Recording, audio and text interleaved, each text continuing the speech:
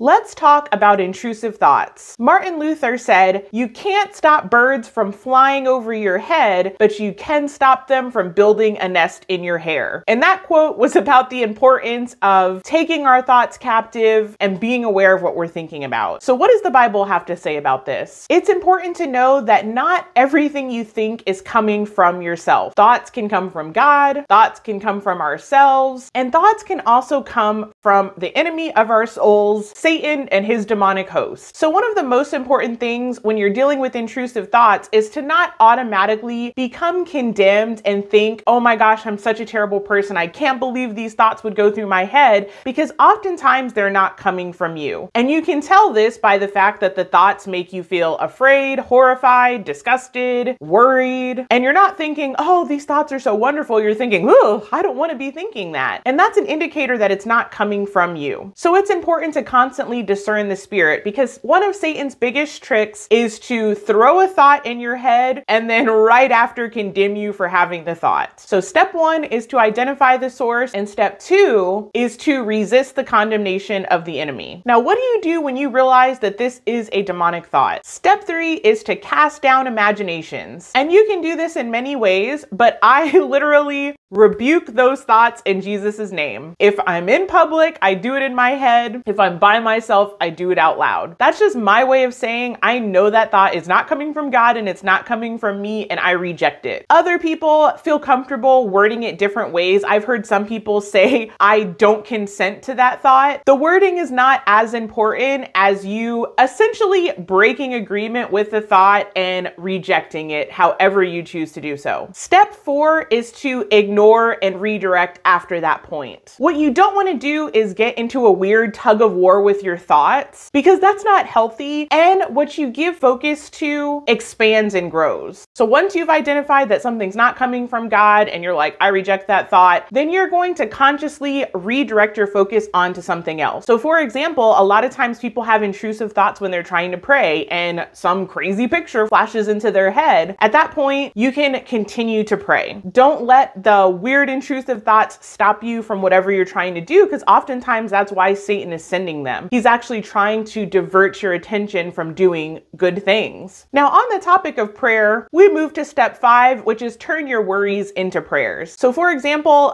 I'll just confess one of my worst battles with intrusive thoughts has always had to do with something bad happening to a loved one. So, when I was young or a teenager, I'd constantly worry about like my parents getting into a car crash. When I got married, those worries started to include people like my husband. So, if for whatever reason, Satan is really assaulting me with intrusive thoughts of something horrible happening to my family, in addition to discerning that that's not coming from the Lord, rejecting that thought, I will also go ahead and add prayer. So, in a way, it's almost like you're turning Satan's weapon back against him because you're like, oh, thanks for reminding me to pray for my loved ones. And this is something very quick. It doesn't have to turn into a four hour intercession. It could just be something super quick, like, Lord, I pray Psalms 91 protection over my husband and parents today, or whoever it is that you're worried about, if that happens to be your intrusive thought. Step six, if you are in a particularly rough mental battle, use your voice and speak out loud. This can be putting on worship music and singing. This could be reading the Psalms out loud or praying out loud. Or if you're comfortable with it, you can even resist the enemy out loud. The idea is that oftentimes when you're speaking out loud, you're interrupting what is happening in your mind. If you want to test this theory, you could think about explaining directions to someone to get to your house, but then all of a sudden start saying your ABC Loud, that's going to interrupt whatever thought is going on in your head. But typically, that only needs to happen in more extreme situations where you are really struggling with your thoughts. Oftentimes, for me at least, after resisting a thought, praying if it's something that I'm worried about, and continuing to put my focus on something else, that's enough. But on certain days, you might want to take it to the next level by using your voice out loud as long as you're not around other people, of course. Now, my last four tips are going to be long term solutions solutions. Because the truth is, our mind is very much like a garden, and we're constantly having to pull up weeds and we're wanting to plant seeds that we want to reap a harvest over. So, step number seven is to renew your mind by reading scripture, memorizing scripture, listening to sermons. This is really important because this is going to help you discern truth from lies because Satan's number one weapon against us is always going to be lies, deception, and distortion. And you want to be able to learn the difference between God's voice and the enemy's voice because one of the worst things he does is comes to us pretending to be an angel of light. When I was much younger and I would get those constant worries and fears about my parents, initially I wasn't sure if the Holy Spirit was trying to warn me or if it was Satan harassing me. But the more time that I've spent with God, I've realized not only by experience is this never God speaking to me, but also that the Holy Spirit doesn't speak in fear and torment and in paralyzing terror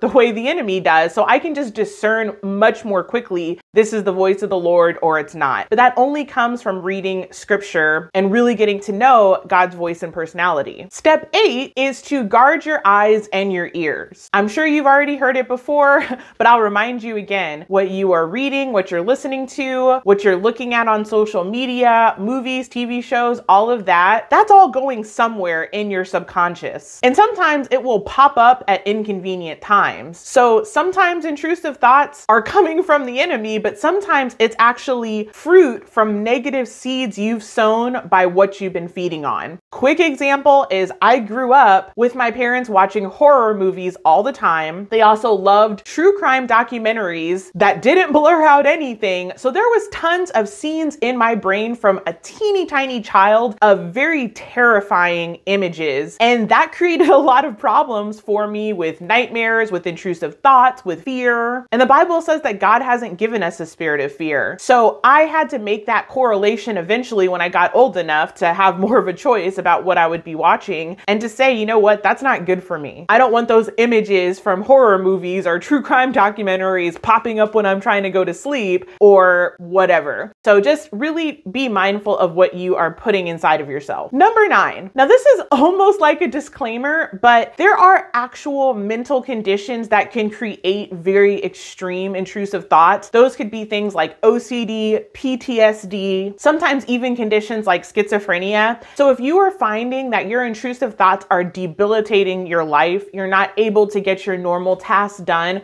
that is sometimes beyond the scope of something that you can just deal with on your own. I would encourage you to talk with a counselor, maybe get medical advice just to make sure that there's not something else going on. And that also goes into number 10. And this is probably my most controversial point because there's many opinions on this, but I will just tell you mine.